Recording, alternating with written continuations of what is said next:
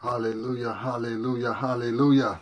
What another beautiful, blessed day today to always be in the presence of the Lord. Another day just to give him the thanks, praise, and glory because our God is still on the throne. He is still performing miracles and wonders each and every day in every last one of our life. He is still real. He is still awesome. Our God is bigger than any situation. Our God is bigger than any circumstances.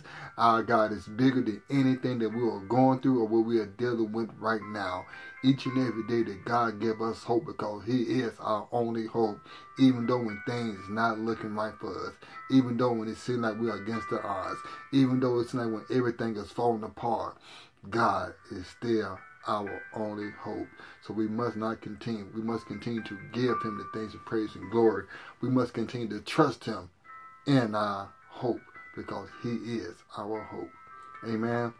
Amen. And today's service is going to be really, really good today, my brothers and my sisters. So I'm going to cut it really short on the praise praise today because I think God just want me to go straight on in with this because he spoke to me last night about this about this text and I just been going over it and over it and over it. And I believe today that this word is going to enlighten somebody, it's going to help somebody, it's really going to speak to somebody. I don't know who exactly, but I just know that God wants me to share this word right now today. And before we get started, let us pray. Heavenly Father God, come before you humbly in the mighty name of Jesus. We thank you for this beautiful, blessed day. We thank you for this opportunity, Father God. We thank you for what you're doing for us in our life, God.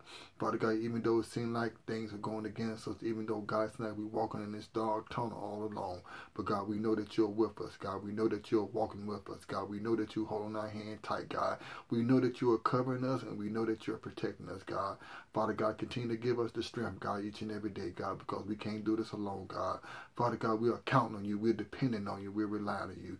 We thank you for this word today, Father God. We thank you for this anointing message, God, that you have spoken to your children today, Father God. Thank you, Father God, for allowing me to be the overseer of your flock today.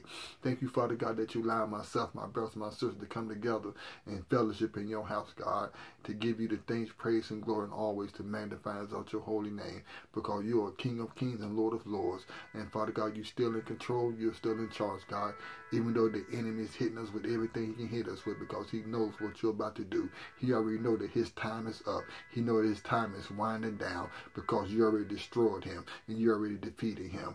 So, Father God, allow your presence to move through this house today, Father God. Allow your love to penetrate through my brothers and my sisters right now today, Father God. Father God, I'm here right now today, God, to repent of our sins today, Father God. Please forgive me, my brothers, my sisters, for any and everything, God, that we done wrong in the sight of your eyes, God. Father God, please forgive me, my brothers, my sisters, for every anything, God, that we done wrong, God, that was not said right in your heart. Please forgive me, my brothers, my sisters, Father God, that that we participate in any kind of negative thoughts, Father God. Father God, we are sinners, God. We do fall short. We do make mistakes. Father God, I'm here today, Father God, I want to ask you for forgiveness. Please Father God, please forgive us for everything we've done, God. Wash us clean, God. Purify us through your blood, God. I want to say thank you, Father God, for forgiveness for our sin. I want to say thank you, Father God, for not remembering our sin anymore. Father God, your house is the house of prayer and praise, God. That's what we're doing in your house. We are praying and we are praising in your house. And we're having fellowship in your house. Father God, you have your way in your house right now. Father God, you are still on the throne. You're still performing miracles and wonders. Father God, let your words today, Father God, move through us today. Let it penetrate through our body, God. Father God, we came in for a reason. We came in for a purpose, God. We ain't leaving here, God, to we live here full and satisfied. I believe today, God, that you're going to speak to your children today, God. And Father God, this word and this anointing message, God, is going to is going to hit them in a way, God, that you know that you, that you are talking to them, God, and they're going to give you the thanks, praise, and glory for it. Father God, we want to let you know that we love you and we trust you in your holy, precious, mighty name. Amen and amen and amen. And today we're going to be talking about dream chasers. Yeah, yeah. One thing that I hear my Father God that He did on this planet called Earth, He endowed a gift, a talent, in a dream in every last one of His children. Not one of you cannot say that you don't have a talent, that you don't have a gift, and that you don't have a dream. God enabled that in every last one of His children. But some of you, it's a difference between being a dreamer and being a dream chaser. A dreamer is a person who just dream about things, wonder if they can get this, wonder if they can do that, wonder if this for them or not.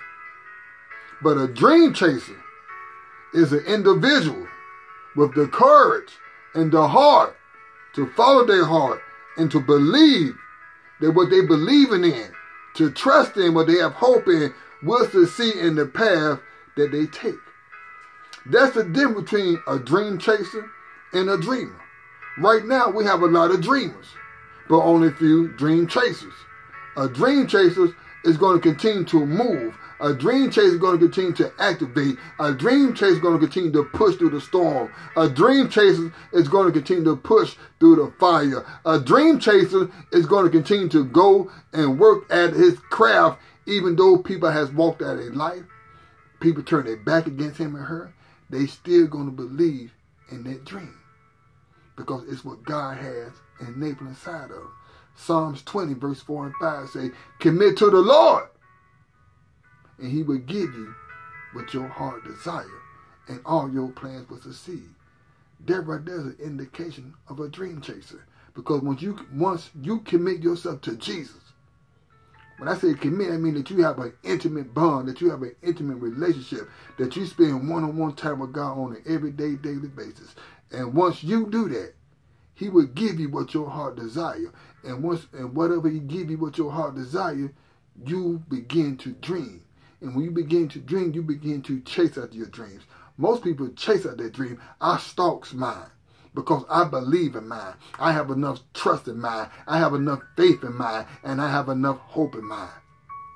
And once you do that, his word said at the end that all your plans will succeed. He ain't say some of them. He ain't say a little bit of them. He said all your plans will succeed and you will hold the, the, the banner with victory on it. That's the difference between a dream chaser and a dreamer. And we're going to be talking about this one individual. His name was Joseph. And he was a dreamer. But not only a dreamer, he was a dream chaser as well. And so when you start following your dreams and you are activating your dreams and you are putting it forth in your dreams, you will have people to you will have people to hate you. You will have people to go against you. You will have people won't even clap for you. You will have people won't even root for you. You will have people that won't even cheer for you. But you, my brothers, you, my sisters, you have to be your number one fan. You have to be your number one cheerleader. You have to commit to yourself. You have to commit to yourself because you cannot expect somebody to commit to you and believe in you if you don't commit and believe in yourself. You have to be your number one fan, cheerleader. You have to be everything and more. That's the difference between a dream, a dream chaser and a dreamer. A dreamer is going to sit there and continue this dream and just think about it. I wish I can do this. I wish I can have this. Or I wish this was mine. But a dream chaser is going to continue to push after what is in his heart. And whatever is in his heart is what God has already given him or her. That desire. That desire, it burns. And when it burns, it don't matter what what's against you, the fire will never go out. Are you following me what I'm saying? Amen. So let's talk about this one individual. His name was Joseph. And we're going to read Genesis 37, 1 through 9. No, 1 through uh, 19. That's Genesis 37, and we're going to read verses 1 through 19. And I'm going to stop, take breaks from here and there. Because I want to break it down. I want y'all to get what God is telling you right now today about a dream chaser. Amen. Amen. Jacob lived in the land where his father had stayed, the land of Canaan. This is the account of Jacob. Joseph, a young man of 17, was tending the flocks with his brothers, the son of Bilhah and the son of Zilpah. His father's wives and he brought their father a bad report about them. Now Israel loved Joseph more than any of his other sons, because he had been born to him in his old age. He had made a richly, richly ornament robe for him. When his brothers saw that their father loved him more than any of them, they hated him. They could not speak a kind word to him. Joseph had a dream, And when he told it to his brothers, they hated him all the more. He said to them, Listen to this dream I had. We were binding sheaves of grain out in the field when suddenly my sheaf rose, stood upright, while your sheaves gathered around mine and bowed down to it. See, right now, Joseph is explaining this dream that God has put in his heart. And by Joseph telling his brothers his dream, and he realized that people love Joseph and not them, the brothers hated him even more. Right now, you have brothers, you have sisters, you have family members, you have in laws, you have people in the church, you have your in laws. They hate you because of a dream that God has put inside of you. And the reason why they hate you, they hate you because of the dream. They are hating you, they dislike you because you are chasing your dreams. And they can see a dream chaser according to a dreamer. It's a big difference. A dreamer will sit there and dream and fantasize about things, but a dream chaser will follow his or her path and continue to believe in his or her dreams, regardless who is clapping, regardless who is rooting, regardless who is cheering, regardless who is talking about it but not. They will continue to fight the good fight, and that's why people hate you the way they hate you, my brothers my sisters. That's why a lot of people has turned their back against you. It's because you're a dream chaser. It's a difference. They see the they see the um commitment. They see the they see the dedication. They see the commitment that you have, and that's what goes into a dream chaser. Commitment, dedication, perseverance. When you put them in a pot and you stir it up with your faith and your trust and your hope, you will always have people that's close to you that's going to hate you even more. Will talk bad about you, won't even clap for you, won't even root for you, won't even sponsor you. They'll sponsor and clap for everybody else, but they will not clap and sponsor for you. And the reason why they're doing it because they see the level of commitment that you have, they see the level of dedication that you have, and they see the faith, they see the trust, they see the hope, but they also see that you're a dream chaser. You're not a dreamer, you're a dream chaser. And a lot of people can't stand a dream chaser. They'll overlook a dreamer because they know that person going to sit there and run their mouth. But a dream chaser, they put in work, even though nobody's watching. They put in work, even though when they when they they number one fan, when they number they number one cheerleader, they number one, they number one uh uh uh base fan. When they see that, and they know what you're doing, they see you grinding, they see you hustling. Hatred come in, jealousy come in, envy come in. And we are thinking these people here really like us. We are thinking at the end of the day, these people really have our back.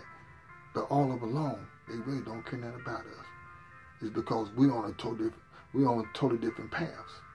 I'm on a path of chasing my dream, being successful. They're on a path of looking at everybody's dream. It's a difference between it's a difference between a mosquito and a fly and a person in a jet. So you have a lot of flies. You have a lot of mosquitoes. But you don't have a lot of people that's already in the jet. So right now, I'm talking to some dream chasers right now that's already in the jet. Don't have time to look at the chickens. Don't have time to look at the mosquitoes. Don't have time to even look at the flies. They're too busy flying high to get what they need to get at. It's a difference between a chicken and an eagle. You are an eagle once you become a dream chaser. Are you following what I'm saying? Verse 8. His brother said to him, Do you do you intend to reign over us? Will you actually rule us? And they hated him all the more because of his dream and what he had said. Then he had another dream, and he told it to his brothers. Listen, he said, I had another dream, and this time the sun and the moon and the eleven stars were bound down to me. When he told his father as well as his brother, his father rebuked him and said, What is this dream you had? Will your mother and I and your brothers actually come and bow down to the ground before you? His brothers were what? I told you, people be jealous of you when you become a dream chaser. They were jealous of him But his father kept the matter in his mind. See, you, do you see? So when you got a dream and you chase out the dream, sometimes it's best for you to keep quiet. God didn't expect you or attend you to tell everybody your your moves. Because when you start telling people your moves, you start telling people your, your motives, they start coming against you. What God is telling you to do is meant for you to do. They said at the end, you ain't got to showcase your dream. Your dream is going to showcase you. And the reason why your dream is going to showcase you because you're a dream chaser. Too many right now today, you're trying to put on a show and have a showcase of a dream, what you cannot do. But when you're a dream chaser, you don't have to put on the showcase of your dream. Your dream is going to showcase you because people are going to see you working. People are going to see you grinding. People are going to see you hustling. And when people see that, you will have people will, will go against you. You will have people that will envy you. You will have people that be jealous of you. You will have people that sit there and stir their nose up at you. You will have people that say, so and so doing this, so and so doing that. When you see that, that's the number one sign that they hating on you. That's the number one sign that they're jealous of you. That's the number one one sign that they envy you. When you have people and say so and so doing this and so and so doing that, but they see that you chasing your dream and they ain't clapping for you, they ain't rooting for you, they mean they are very unhappy with you. They're unhappy with you because you took your path and you took your lane and you ran with it.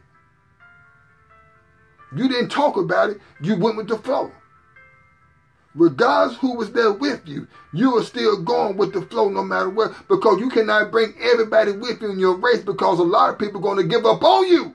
My sisters, my brothers, in your race. A lot of people are going to give up on you once you try to believe in something. A lot of people will give up on you when they know that you are successful and the closer that you get to that victory lane, you will start noticing how many people will turn their back against you. You'll notice how many people's not clapping for you, not rooting for you. And he's going to be the one that's closest to you, like your brothers, like your sisters, like your parents, like your husbands, like your wives, like your kids, like your in-laws. It ain't going to be no total strangers. It's going to be people who you know, who you thought that's going to be there, be helping you. It's going to be people that you know that you thought that you expect that's going to help you get to the next lane. They don't want to help you because you're on two different levels. They the fly in the mosquito, you in the jet. So they want you to be on the same level as them, but you already bypassed them. You can't even look at them no more. You're in a total different lane. You're in a total different race from them. They still dreaming about something, but you're chasing your dreams. That's a totally different. My brothers, my sisters. And you wonder why they're against you. You wonder why someone packing up and say, I got to go because I'm, I'm not happy. They're, they're unhappy is because they have not found their lane. They are unhappy because they have not really found what God has called and chosen to do, even though God has already given them the dream. God has already given the gift. God has already given them the talent, but they too busy looking at everybody else and not looking at themselves. See, that will make a person unhappy when they're not really happy with themselves, when they not have identified themselves. There's a lot of people right now they really have not identified who they really are but you want to get mad at somebody else, you can't blame that man, you can't blame that woman because they found who they are.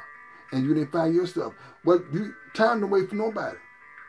You can't get mad at him, you can't get mad at her because they're chasing their dream, they believe in something. Now you say, I'm, I'm happy, I'm not happy. I gotta find myself. What's taking too long?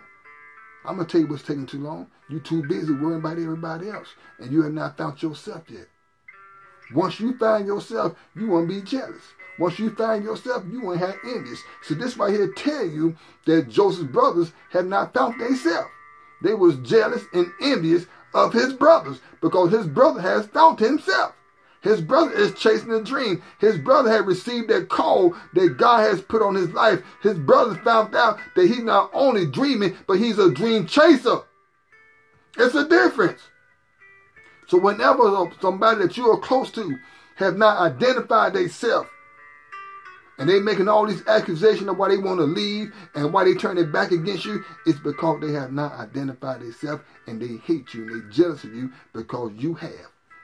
They see that you are committed. They see that you are dedicated. They see that you are hungry. They see that you are thirsty for your gift, for your talent, for your dreams. They see that you chasing it each and every day, and they say, "Man, this man gonna leave me one day." Oh, this woman gonna leave me one day. So let me go ahead and pack up right now today. Let me go ahead and this cause the problem right now. Let me go and pack up, tell him I'm not happy. Let me pack up, say, let me move to another city, another state. But where you're going still ain't real because you're still gonna be in the same predicament if you have not found yourself. You still gonna be in darkness. You still gonna be unhappy. So it don't matter where you run to, it don't matter where you go to. If you have not identified who you are, if you have not identified that calling, if you have not identified that gift, that talent that God has put inside of you, it don't matter where you go. If you can go to the planet Mars or Neptune, you still will be unhappy because you're only a dreamer. A person without a dream don't have a vision. A person without a dream don't have a vision. See, that dream comes with a vision. That vision comes with a price to pay. And that price to pay that people are going to turn their back against you. People are going to give up on you. But you must continue to follow your heart. That's what a dream chaser does. It follows his heart. No matter what, how many people turn their back against. No matter what, how many people let them down. And right now, a lot of dream chasers right now, they, they're going through a lot of a lot of significant pain right now. God will never cause pain if there's no purpose. No purpose, no pain. But that, they let you know that you are close to the victory line, my brothers, my sisters. Are you following what I'm saying? Let's go to 12. Now his brothers had gone to graze, the, graze their father's flock near Shechem in Israel, said to Joseph, As you know, your brothers are gazing the flock near Shechem. Come, I'm going to send you to them. Very well, he replied. So he said to them, Go and see if all is well with your brothers and with the flocks, and bring word back to me. They sent him off from the valley of Hebron. When Joseph arrived at Shechem, a man found him wandering around in the field and asked him, What are you looking for? He replied, I'm looking for my brothers. Can you tell me where they are grazing the flocks? They have moved on from here, the man answered. I heard them say, Let's go to Dahan.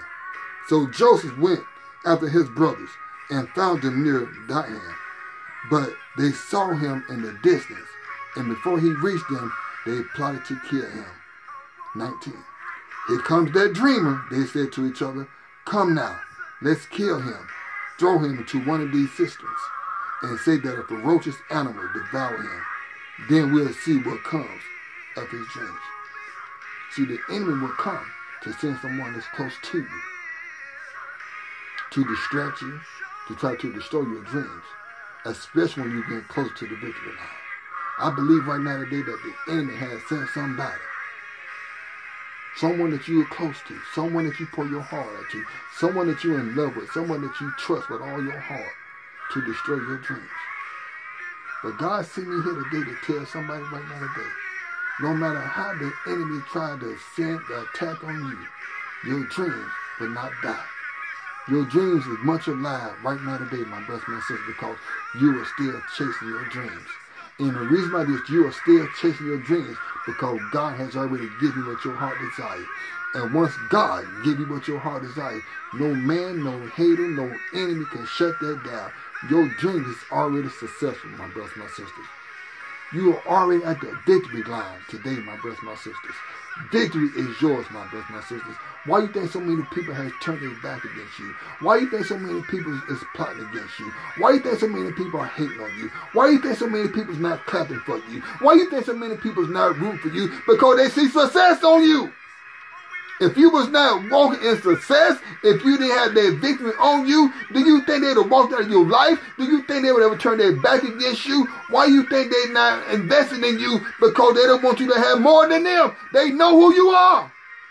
You're a dream chaser, not a dreamer. You're a dream chaser, not a talker. You're a dream chaser, not somebody who's somebody else lame. You're a dream chaser. You're not somebody else that want to have a dream, but you're believing in your dreams and you have faith in your dream. You have trust in your dreams. You have hope in your dreams, and you're already at the victory line, my brothers, my sisters. Some of you right now, you've been put in prison by your own loved ones because of dream. A dream is more deadly than a gun. A dream chaser is more deadly than a knife. A dream chaser is more deadly than a needle. A dream chaser is more deadly than pills that people take. They try to overdose themselves. It's because of who you are. Being a dream chaser, it comes with a price. And when it come at a price, people will try to plot to kill you, try to destroy you.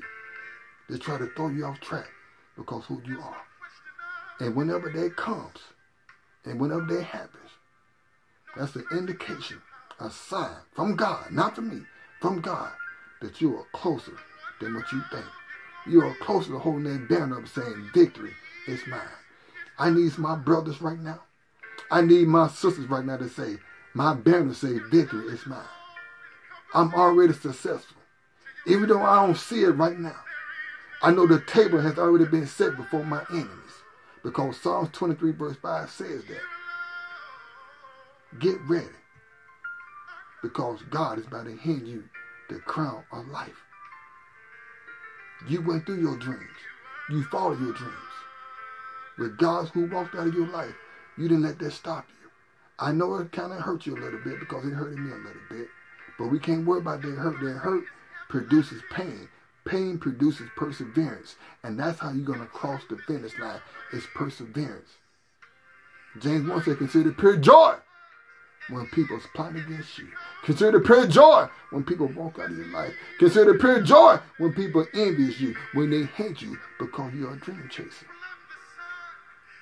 See, a person ain't gonna hate a dreamer because that's what a dreamer does. This dream, this visualize all day long, hoping and wishing. But a dream chaser, they take the first step and they allow God to take the next step. They take the next step and allow God to take the next step. They take the next step and they allow God to continue to take the next step. A dream chaser is faith, believing in things, trusting in things, even when they don't even see it. A dream chaser have faith. A dream chaser have trust. A dream chaser have hope because Jesus is our only hope. A dream chaser see the victory lane. Without a vision and a dream, you can never be a dream chaser. That's the point I'm making. Without a vision or a dream, you can never, ever, ever be a dream chaser. The only thing that you can do is be a dreamer. Are you following what I'm saying? See, it's the vision that's pushing you, that's motivating you because you see it. That's why one thing that Joseph went wrong at. He saw the vision, but he was talking the vision a little bit too much. Sometimes when God gives you the vision, He wants you to be quiet because that vision that He gave you is for you. Not for you to go tell everybody, because once you do it, you ain't got to showcase your vision. You ain't got to showcase your dream because people are going to see who you are because they know that you're a dream chaser. You ain't got to showcase it. It's going to showcase you. It's because of your character. It's because your your availability. It's to show because your commitment, your dedication, your hard work, your perseverance. That's how it's going to show. And it's going to show each and every day when somebody see you. Wonder why his brothers didn't want to root for him. You wonder why his brothers didn't clap for him. You wonder why his brothers weren't even happy for him, even his family. And you wonder why your wife not happy for you, your husband not happy for you, your family's not happy for you, your in-laws, your close relative is because you're a dream chaser. It's because they see the vision. They see that you're close to the victory line. That's why so many people is walking out of your life right now. That's why they turn their back against you. That's why they ridiculing you right now. That's why they're trying to put you in prison. They're trying to stop it. They're trying to destroy it. But they can't stop it. They can't destroy it. Because you have the vision. And you have the dream. Because you what? You are a dream chaser. And if this word is for you, and you know God is talking to you, say, thank you, Jesus, for blessing me with the desires of my heart. Thank you for the commitment. God may not see it yet, God, but I'm still chasing my dreams. I don't, I'm chasing, I'm stalking them, God. I have the vision, I have the mindset, and I have the dream that I will win and I will succeed. Because your word tells us in the book of Psalms 20, verse 5, commit to the Lord that he will give you what your heart desires, and all your plans will succeed. You didn't say some of them, you didn't say a little bit of them. You said all my plans will succeed. And I believe and I declare I'm speaking into existence. I'm prophesying right now today. This year in the year 2020, I will cross that victory line. I will have the crown on my head. My banner say victory is mine. Tell somebody right now today that victory is mine. Tell yourself that victory is yours right now today. Because victory is yours. Victory was Joseph at the end. And at the end, Joseph had to take of his same people that sold him, put him in prison. And I believe and I declare right now today, the same people that went against you, the same people that, that, that judged you, the same people that was envious you, the same people that was jealous of you, that hated you, they sold you out, gonna be the same people that you're going to bless at the end. Amen. That's what a dream chaser does. Stay blessed, dream chasers. Can you please pray with me? Lord Jesus, I ask of you to come into our life to guide us, direct us, use us. I believe right now today by us praying a simple little prayer that God is already working everything out in our life right now today. And if you ever want to get in contact with me, leave me a comment. My YouTube channel is Footage.lt. Always keep Jesus first place. Always seek Him. Always honor Him. Always praise Him. Always continue to pray for your fellow brothers and sisters. It doesn't matter if you know them. It doesn't matter if you ever seen their face. Prayer help and prayer changes things. And God will bring justice. I'm going to continue to keep y'all in prayer, my brothers and sisters. I just ask y'all guys continue to keep me in prayer too. This servant, Minister LT, I love y'all. Stay blessed. Amen.